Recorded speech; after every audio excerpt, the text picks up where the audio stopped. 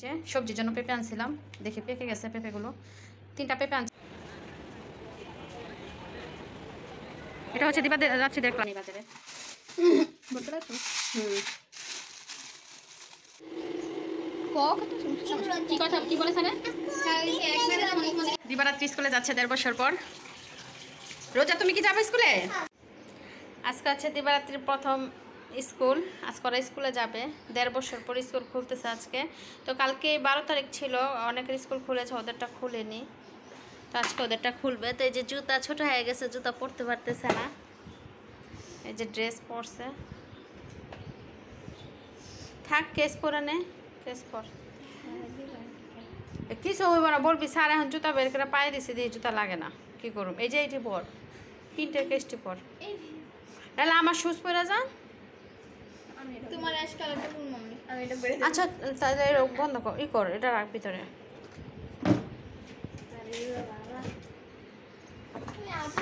যে সবজির জন্য পেঁপে আনছিলাম দেখে পেকে গেছে পেঁপেগুলো। তিনটা পেঁপে আনছি দুইটা বড় আর একটা ছোট। ছোটটা কাঁচা আর এই বড় দুটা পেকে গেছে। তো কেটে নিলাম।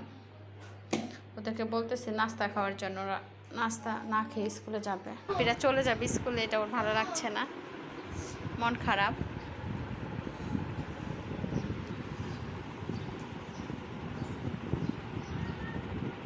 দিবারাত্রি স্কুলে যাচ্ছে দেড় বছর পর। রোজা, তুমি কি যাবে স্কুলে? একটু সুন্দর দাঁড়া, একটা ছবি নি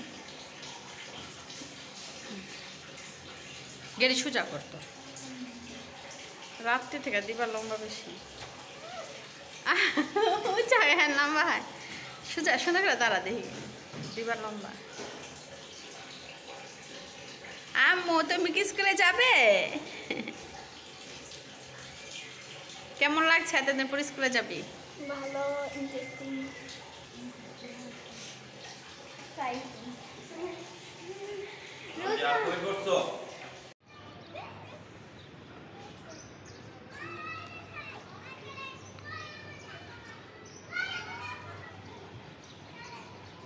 দাঁড়া, তোর পাপা আসো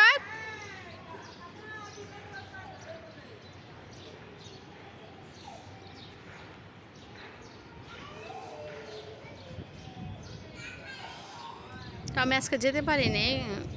কাজ আছে, তোর বাবাকে দিয়ে পাঠাচ্ছি স্কুলে। ওর বাবা নিয়ে যাচ্ছে। আর ওদের স্কুল খুব সামনেই। আমাদের বাসা থেকে দেখা যায়। তারপর ওদেরকে একা ছাড়ি না কখনো। এখন পর্যন্ত একা দেইনি বাহিরে যাওয়ার জন্য।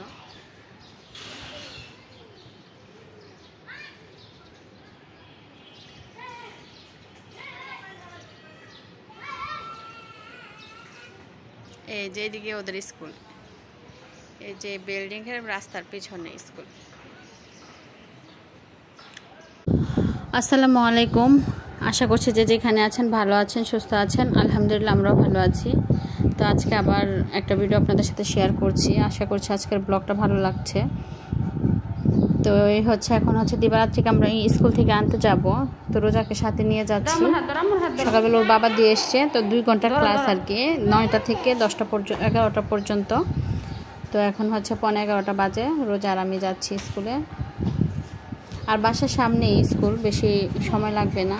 হেঁটেই যাওয়া যাবে। তো আমার হাতটা ধুইবেন। ও এটা এটা না। এই।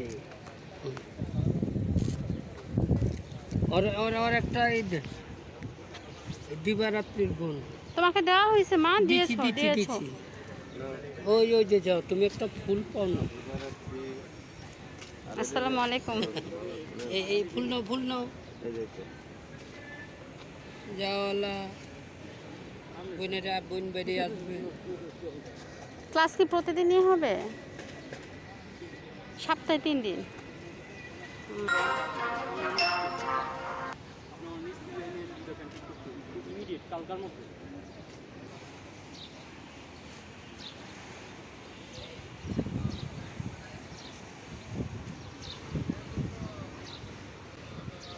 পিরাপ কোথা? কোন ক্লাস সেভেন যাও যাও।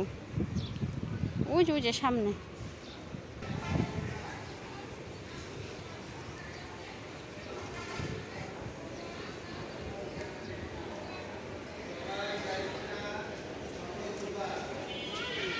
কোন ক্লাসে বসছে আপিরা? না না কিছু বলব না। ইয়ে দোল খাচ্ছে।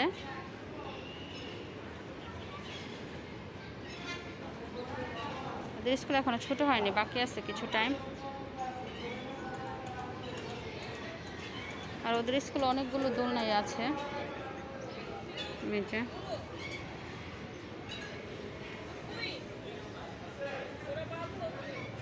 হ্যাঁ?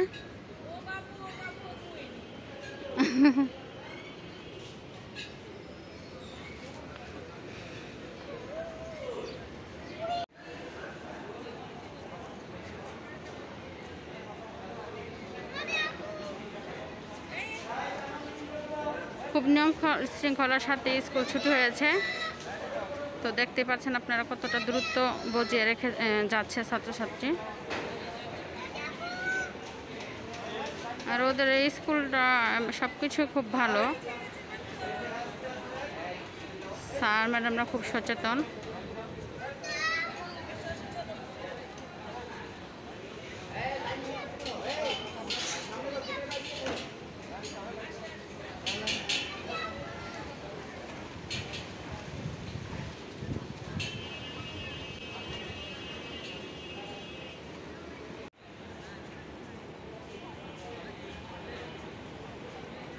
এটা হচ্ছে দিবা রাত্রিদের ক্লাস ক্লাস সেভেন ছুটি হয়েছে এখন।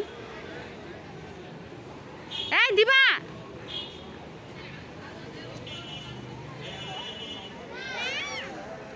নিয়ে জরে রোজা?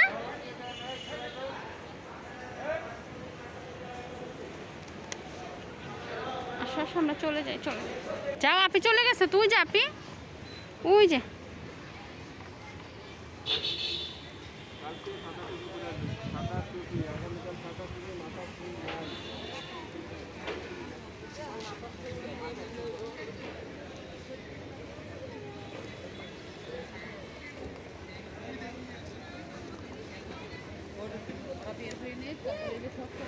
দিবা রিক্সাটা যাবে? নিয়ে নে নিয়ে নে। লাগবে না যাও। তোমাকে একা যাও? ও ওঠো। না না এই যে এদিকে।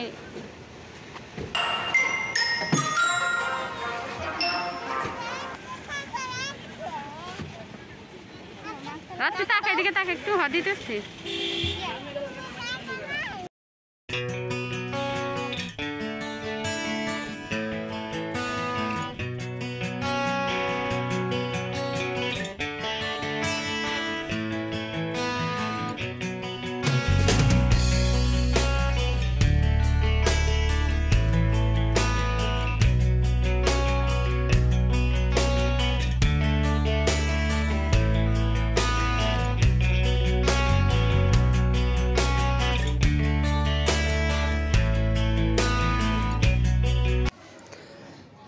থেকে হচ্ছে যে টুকটাক বাজার গুছিয়ে নিব। আমি সকালবেলা তো রান্না করেছি, তো সকালে রান্না করেছি হলো ইলিশ মাছ রান্না করেছি, পটল দিয়ে, আলু দিয়ে, আর হচ্ছে রান্না করেছি, পেঁপে ভাজি করেছি, শুটকির ভর্তা বানিয়েছি তো দুপুরের জন্য আর কি। তো এখন হচ্ছে এটা হচ্ছে বাজারটা করে নিলাম। এখন আমি হচ্ছে গোছাবো। আমি তো সকালবেলায় রান্নাটা করি আর আমাদের নারায়ণগঞ্জে গ্যাস থাকে না তো রান্না বাড়া করেই তারপর হচ্ছে যা কাজ আমার এগুলো করতে হয়। তো এই যে বাজার টাজার নিয়ে এসছে এখন হচ্ছে আমি এগুলোকে গুছিয়ে নেব। মনে। তো এগুলো হচ্ছে সবজি এনেছি। তো সবজি তো বাচ্চারা কম খায় জন্য কমিয়ে এনেছি। এই যে এখানে হচ্ছে আধা কেজি বেগুন এনেছি সিম এনেছি আর হচ্ছে উস্তা। আর সিমগুলো একদম টাটকা। এখানে হচ্ছে কচুর ছড়ি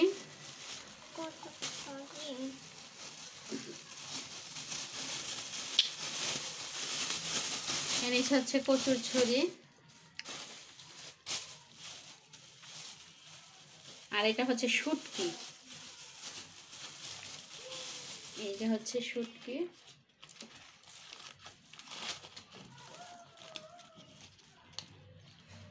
Lemas. Gonna lemas. Suki gondalen. এই ছিল আজকের বাজার। দে, ইটা দে তো হ্যাঁ দেখ বক্সটা আছে। ওই যে বরমটা কাঁচের বরমটা দে শুটকি। তো এই যে আমি শুটকি সবসময় এভাবে রাখি, এই কাচের জারের মধ্যে রেখে তারপর হচ্ছে নর্মাল ফ্রিজে রেখে দেব। এটা দুই তিন মাসও কিছু হবে না। এক বছরে যেমন শুটকি এমনি থাকবে। আর এমনিতে কিন্তু রেখে দিলে এক সপ্তাহের মধ্যে শুটকিটা পোকা ধরে যায়, নষ্ট হয়ে যায়। এই তো। আর ফাঙ্গাস পড়ে যায়। মানে ফ্রিজে নর্মাল ফ্রিজে রাখলে এটা আর ফাঙ্গাস পড়ে না।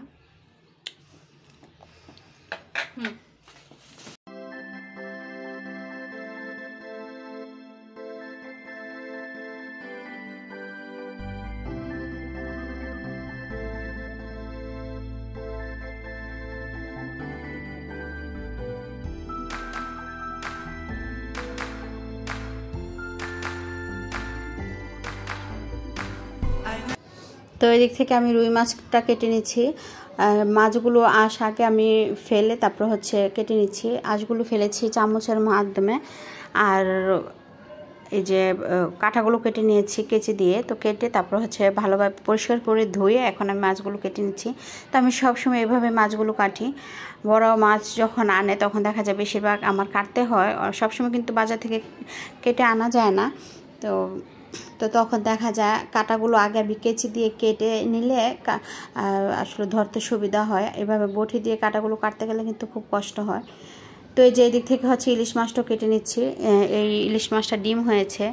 আর এই যে দেখতে পাচ্ছেন রগ, এই ইলিশ মাছের দুই সাইডে কিন্তু দুইটা রগ থাকে সুতোর মতো। তো এই রগগুলো ফেলে দিলে ইলিশ মাছ বাজার সময় আর ছিটবে না।